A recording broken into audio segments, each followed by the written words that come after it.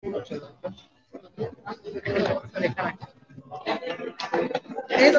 no se nos programa.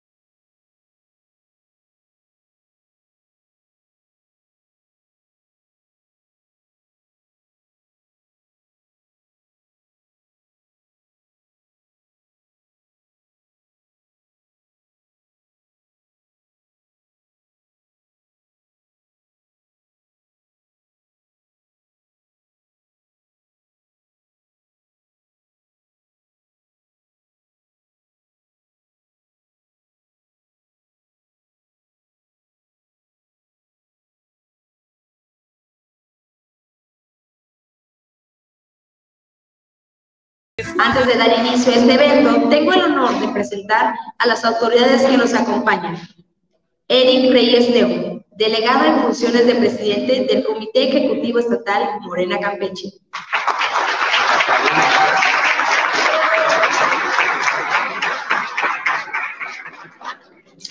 Lupita Nagarian, líder social del 97.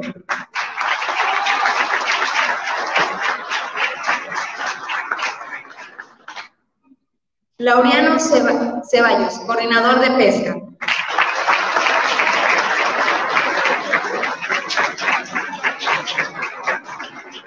Edward Ceballos, director general del INE Pesca.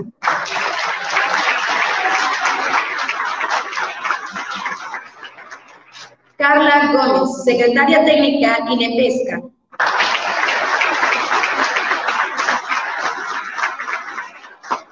Y Dalí Sosa, diputada local.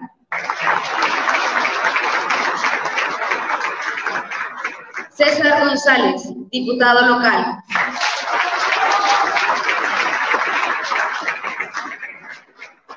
Estimados presentes del sector pesquero que nos acompañan, sean todos bienvenidos.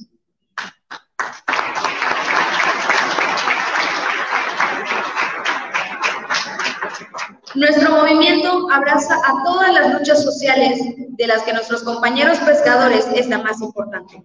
Años tras años de búsqueda de reconocimiento como pilar importante de la economía de nuestra ciudad, finalmente rinden frutos. Bienvenidos pescadores de Campeche.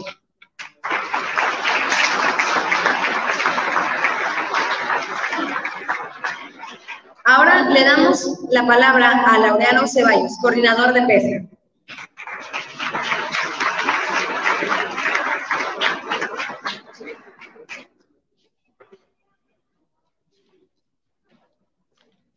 Buenas tardes.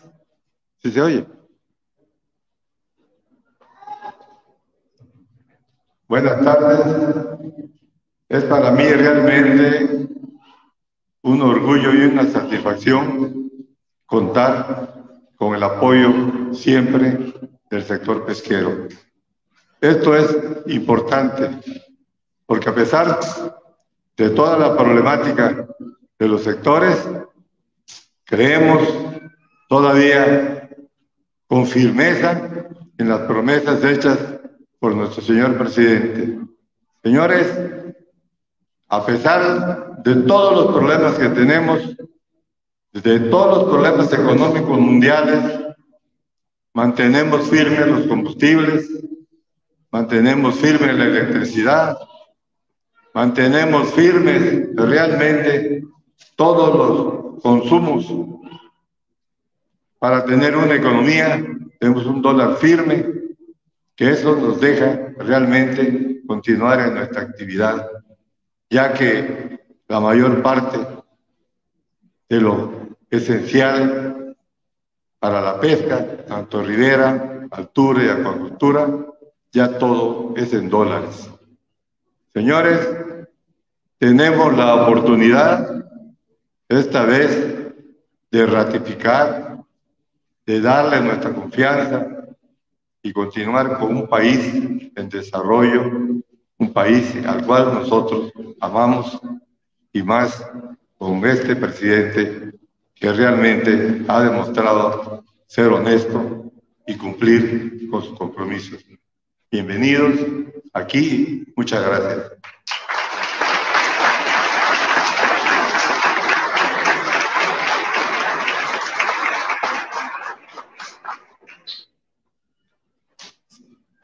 Ahora un mensaje de Eduard Ceballos, director general de Pesca.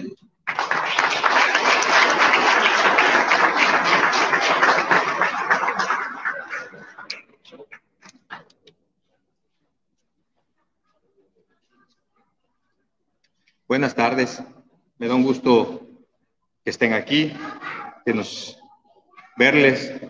He tenido acercamiento con ustedes, pero lo mejor es que a la convocatoria ustedes están presentes. Agradezco a todos por su participación y asistencia a esta importante cita, ya que la, la finalidad de este, de este evento es estrechar los lazos más profundos con ustedes y que los resultados se reflejen en el mejoramiento de sus condiciones económicas. Necesitamos que nuestra voz sea escuchada por los líderes que llevan las riendas del país, de nuestro Estado. Hagamos juntos realidad la, la realidad que Campeche necesita. Así como en los años de bonanza pesquera que alguna vez vivimos en nuestro Estado.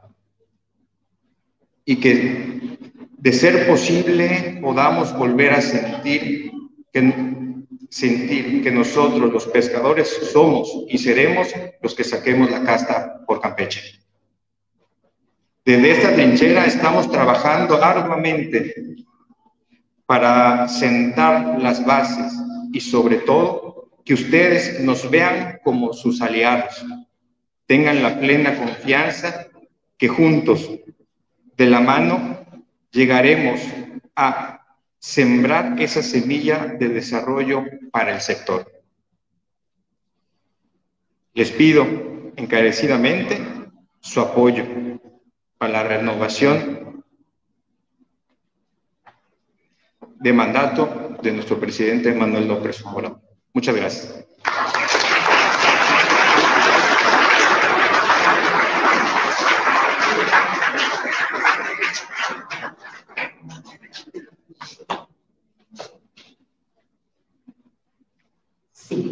Ahora le damos el uso de la palabra a César González, diputado local.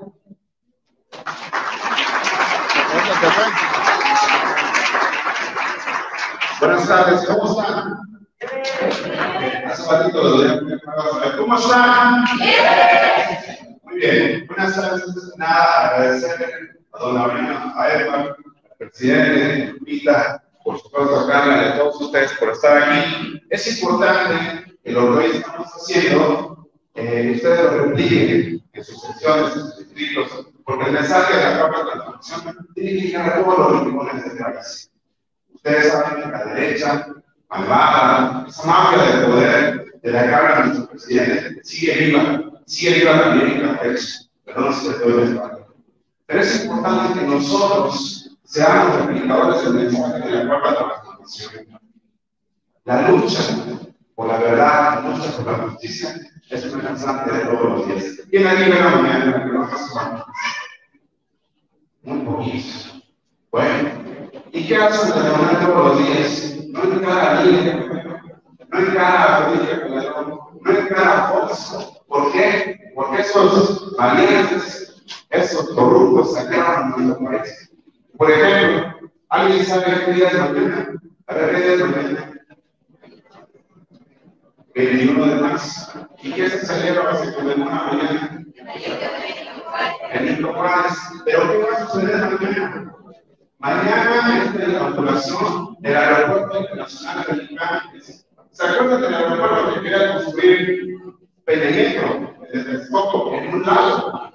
Bueno, ese aeropuerto costaba 300 mil millones de pesos. ¿Sabe cuánto costó el de Manuel?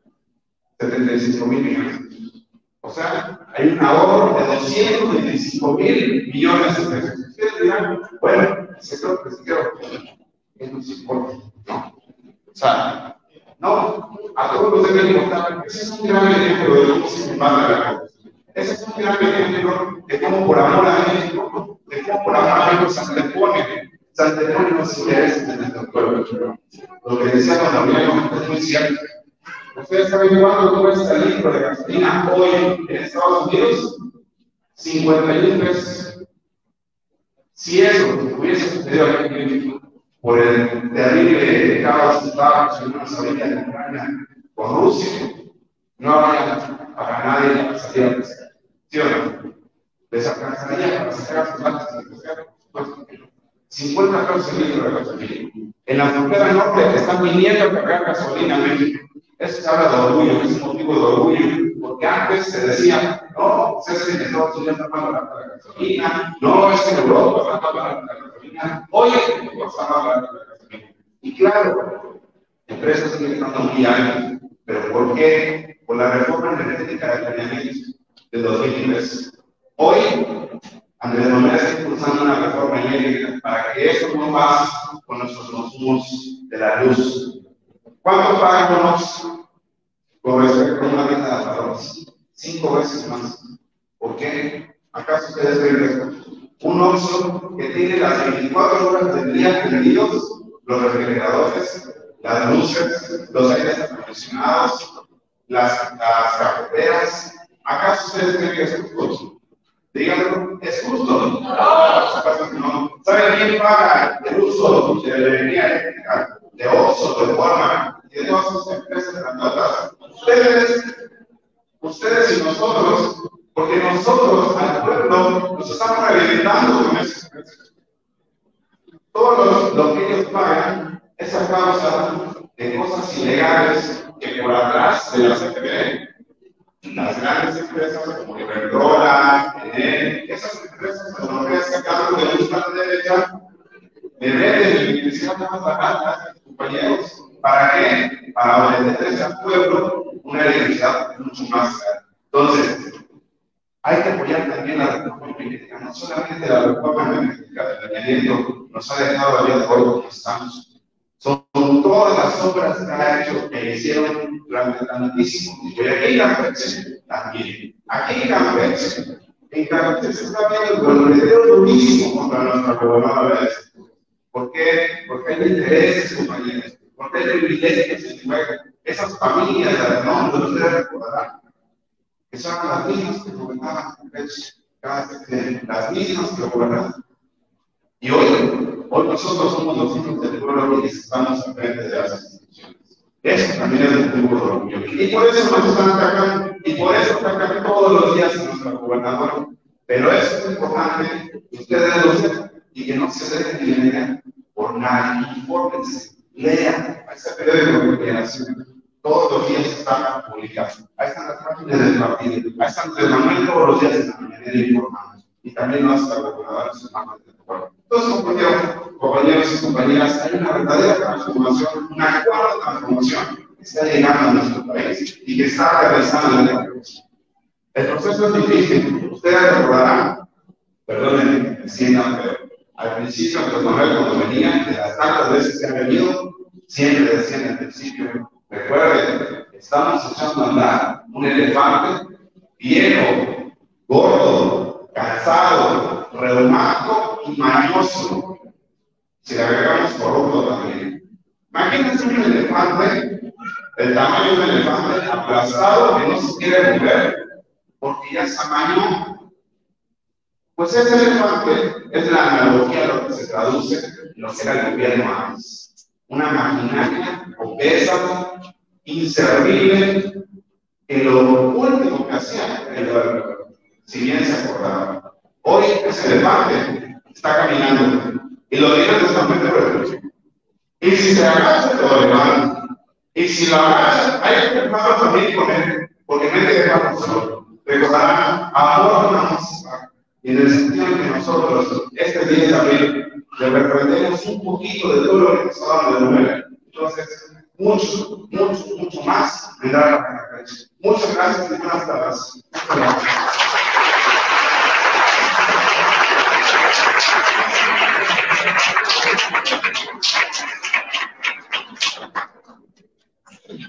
Ahora, unas palabras de Eric Reyes León, delegado en funciones del presidente, Comité Ejecutivo Morena Campeche, quien nos tomará protesta y hablará de la reforma eléctrica. Gracias. Muy buenas tardes a todos. Eh, bienvenidos a su casa y bienvenidas a su casa Morena. Quiero comentarles por qué estamos hoy acá y que saliendo de estas instalaciones, que repito son suyas, eh, se vayan con una reflexión y eh, muy claros el por qué le pedí el apoyo a nuestra amiga Lupita Nagarián, que pues sí, ya sabemos que son del 97, pero ya nos ayuda día a día y es familia morena. Muchas gracias, Lupita, en verdad, te lo digo con sinceridad. Pedí a Lupita hace como un mes que me ayudara a organizar este tipo de asambleas por sectores. Y ella me dijo que quería comenzar con el sector que consideraba ella más importante que tenemos en Campeche, que es precisamente ustedes, el pesquero. Y qué mejor que hacer esta asamblea, esta toma de protesta, que ahorita les explico de qué se trata, con dos personas que llevan toda su vida dedicándose a esta actividad y que qué buen tino de la gobernadora de permitir a Laureano y a Edward que estuvieran al frente de ese organismo que muy seguramente, sin dudarlo, estuvo hundido en la corrupción total. Porque si no hubiera sido así, tendríamos al sector, al sector pesquero de maravilla, sin problemas, sin abandono. Y estaríamos a nivel eh, primer mundo con este gran litoral que tenemos en todo el estado de Campeche, sin que ahora hubiera ninguna petición, nada que pedir al gobierno de la Cuarta Transformación.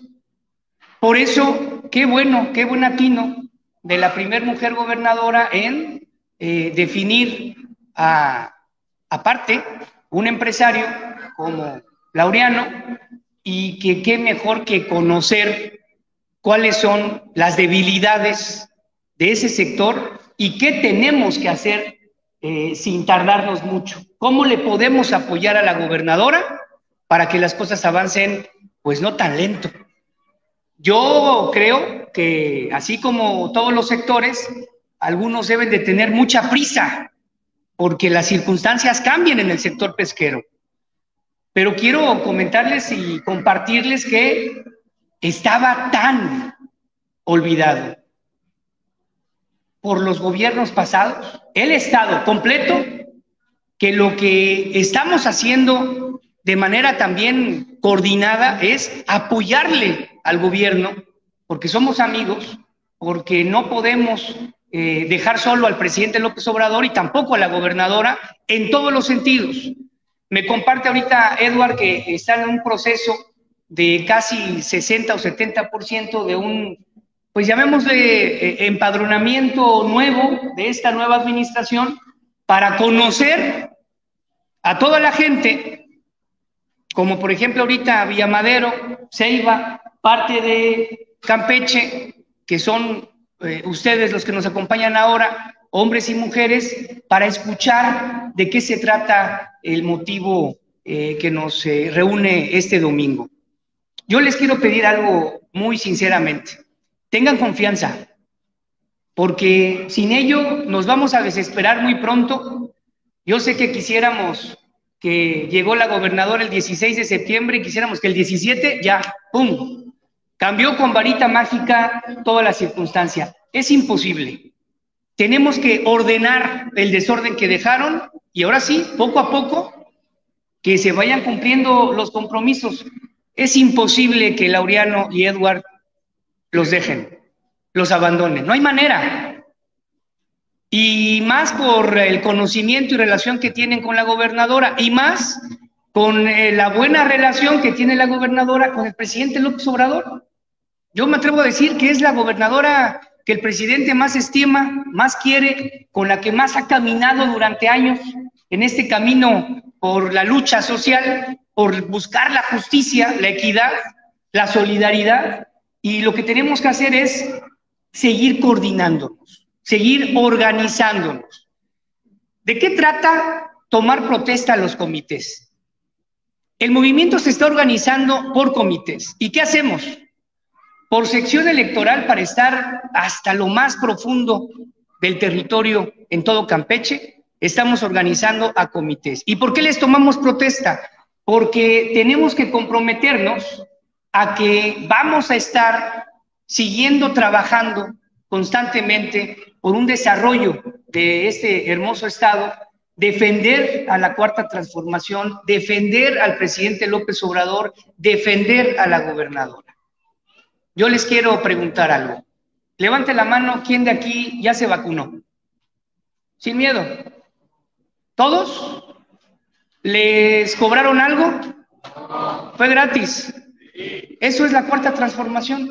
Eso es López Obrador. Ese es el manejo honesto del presupuesto público. ¿Quién de aquí conoce a un adulto mayor que recibe su pensión? Levante la mano.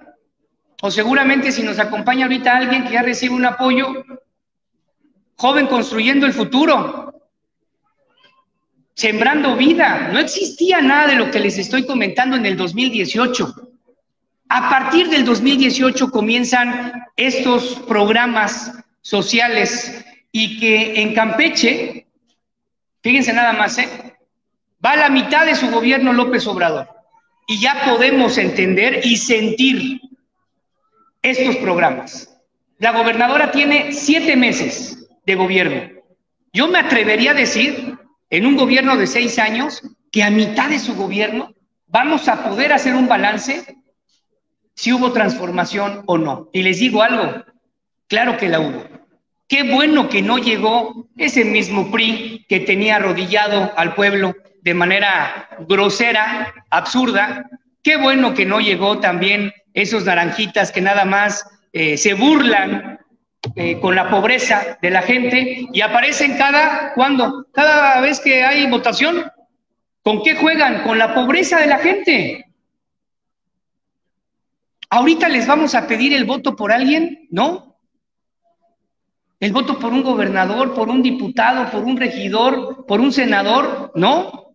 ¿Por qué estamos hoy domingo dejando sus actividades y nosotros también y estamos acá con ustedes? Por una sencilla razón, el sentir y el espíritu de Morena es no dejar al pueblo, informarle constantemente. Eso es Morena. Y no podemos descansar. Ni modo, nos tocó estar acá, no hay descanso y ya descansaremos mucho cuando no estemos acá. Ahorita hay que aprovechar eh, las 24 horas y miren, ayer lo compartí en Carmen con el alcalde Pablo y con el amigo Alejandro Casarín, mi tocayo.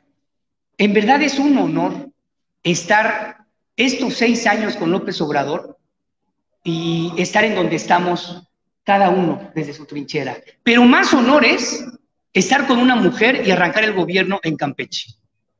O sea, ¿qué estamos haciendo cada uno desde nuestra trinchera para que cambien las cosas, para que haya transformación? No puede haber una transformación sin nada más de dientes para afuera y sin hacer nada o detrás del Facebook, ¿no? Del Twitter, no. ¿Qué hacemos? ¿Qué actividad cada uno realmente ejecuta desde su trinchera para aquella transformación? Les aseguro mucho que tanto Laureano desde su trinchera como Edward desde su trinchera, la gobernadora y los aquí presentes diputados van a legislar a favor no solamente de los pesqueros, sino de todo el pueblo de Campeche, de casi con el millón de ciudadanos que tenemos en este estado. Entonces, de ahí va en organizarnos en comités. En 15 días o en un mes después de la revocación del mandato, que les voy a comentar por qué nos prohibieron hablar sobre ello, pero que ya afortunadamente a los servidores públicos sí les permitieron ya, les quitaron la mordaza. Nos quería tratar el INE y esos dos consejeros de derecha como perros con mordaza, pero no lo lograron, porque tienen miedo de que el pueblo esté informado, de que el ciudadano pueda salir a un ejercicio tan sencillo como es una consulta popular. Estamos ya a 22 días, ¿eh? 22, 21 días para este ejercicio. Bueno, les pedimos un favor. Punto número uno, pasen la voz. Ya lo comentaba el diputado César. Nos ayudan mucho para que con su amigo o amiga del sector, la familia, amigos, vecinos, se pasen la información.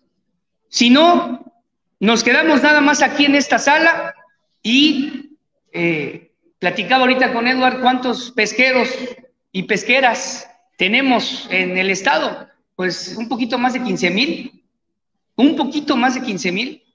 Este, aquí habemos 200 personas. Por eso les digo que es importante pasar la voz, porque tenemos que replicar el mensaje. Tenemos que estar informados de lo que está pasando en el país. Tienen en sus manos un flyer, un volante y un periódico. Cuando regresen a su casa, les pido un favor, léanlo. ¿De qué habla? Sobre lo que comentó César, la reforma energética. Dirán, ¿qué nos importa, Eric? ¿Para qué nos quieres hablar sobre algo que no tiene nada que ver? Pues, ¿qué creen? Tiene muchísimo que ver. ¿Nos afecta? Sí, sí nos afecta. Y desde ahí hay que cambiar la manera de actuar estar enterados. Si no hay reforma energética, máximo el 30 de abril, el próximo mes, porque después del 30 los diputados federales se van este, no a descansar, sino a chambearle al territorio, pero ya no hay sesión, los privados van a decidir cuánto va a costar la luz.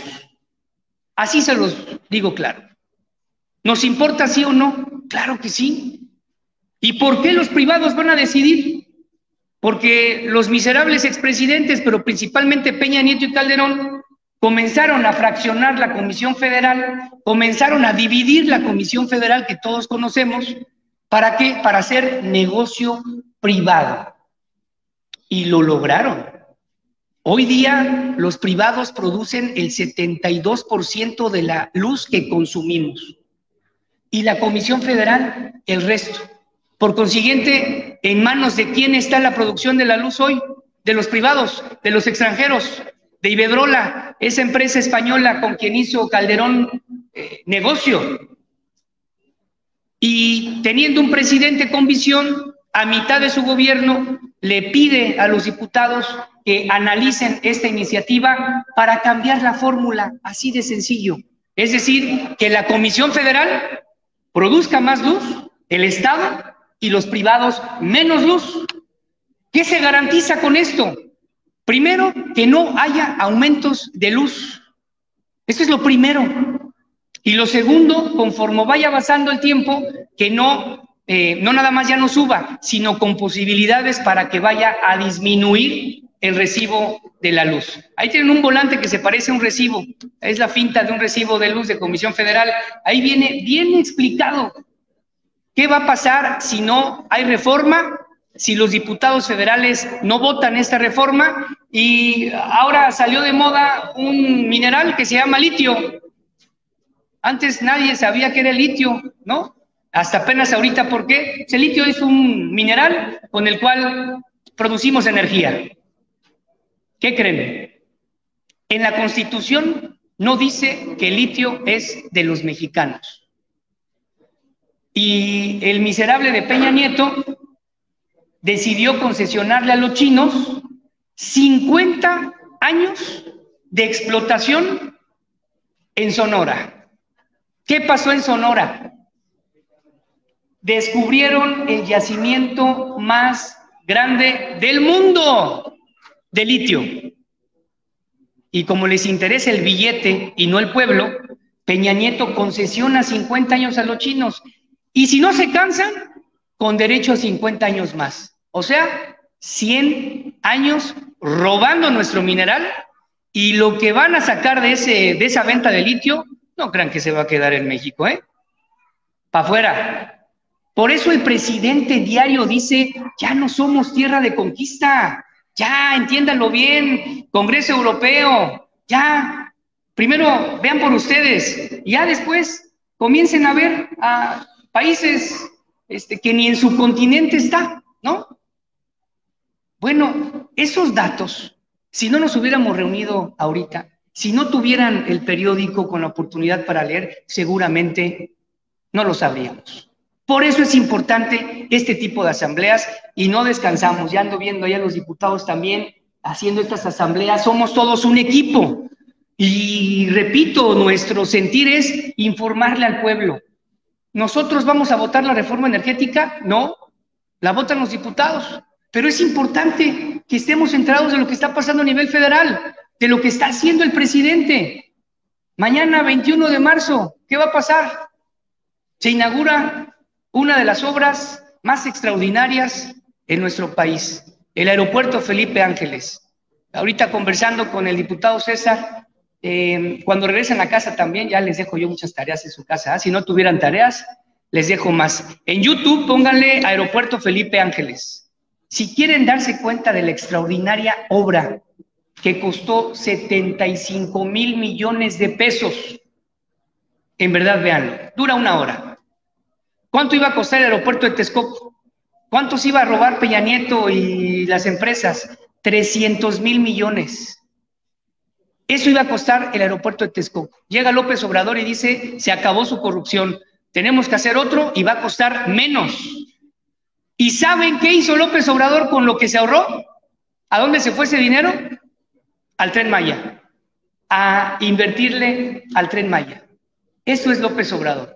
Eso es la cuarta transformación. Y por eso nos estamos organizando para defensa de él, de la gobernadora de Campeche. Les eh, necesitamos informar que confíen, que sigamos eh, de la mano, que sigamos unidos como pueblo. No necesitamos un pueblo dividido.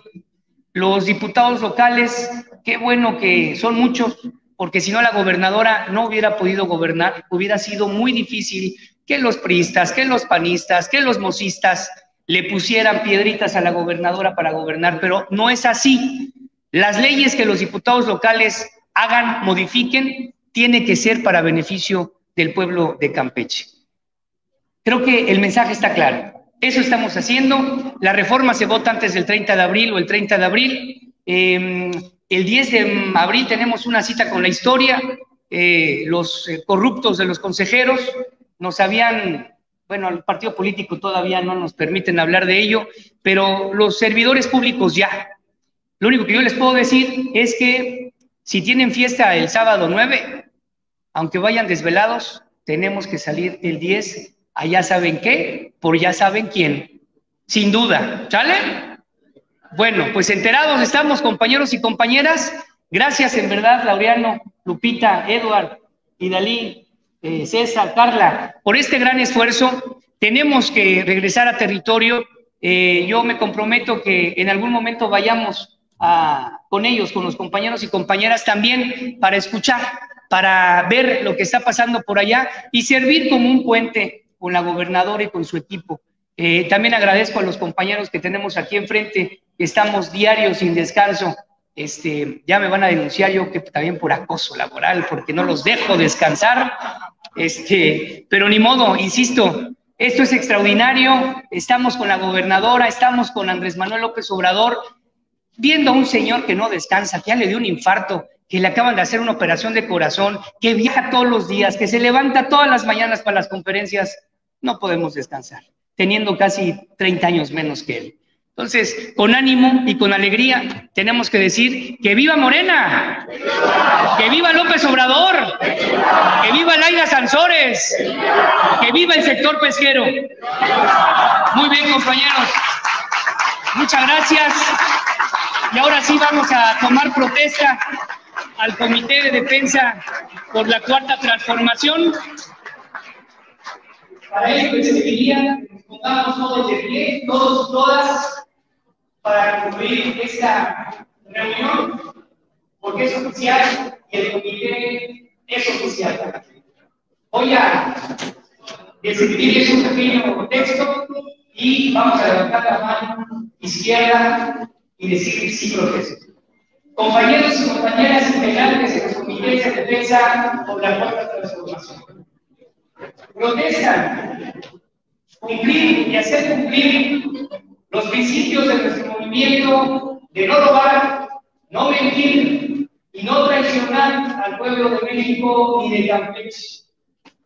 Trabajar día con día, casa por casa, para que continúe la cuarta transformación en Campeche y continuar con la revolución de las conciencias? Sí. Si así lo hicieran, el pueblo de Campeche se lo reconozca y se aplauda. De lo contrario, que se los demande. Muchas felicidades, compañeros y compañeras.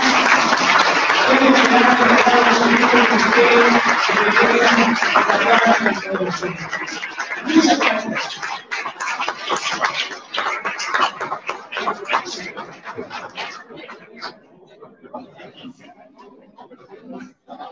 Vamos a permanecer de pie para la foto final también.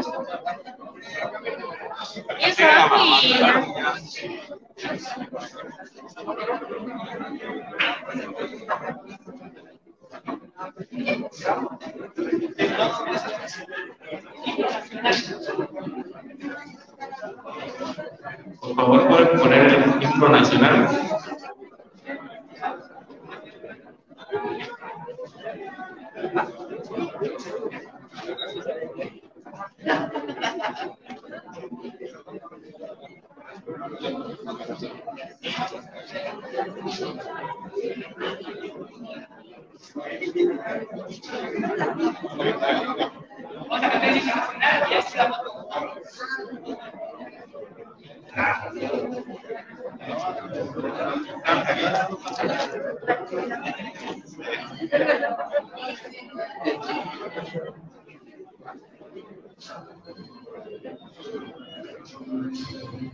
Venga, un salido de que la selva y el.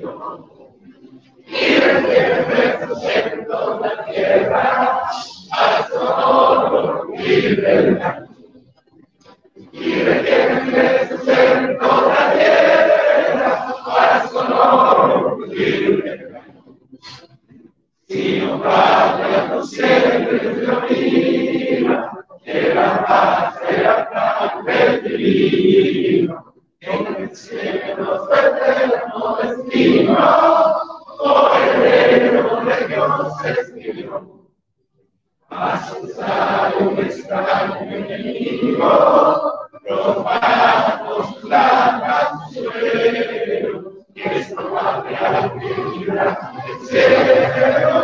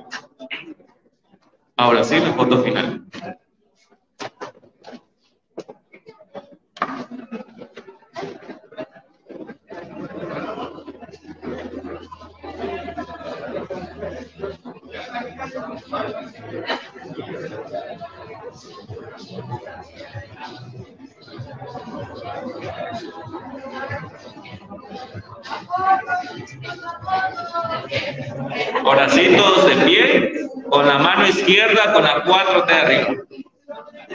Todos, todos, todos, todos de pie, con la 4T, que se vea, que se vea.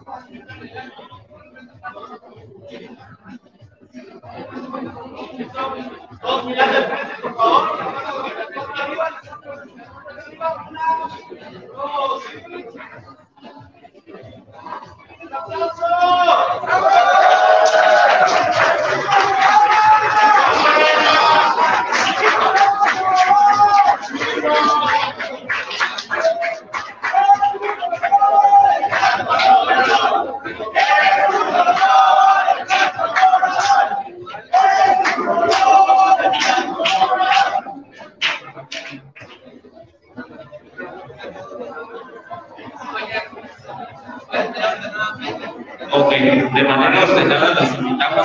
Para que les entreguen un pequeño refrigerio.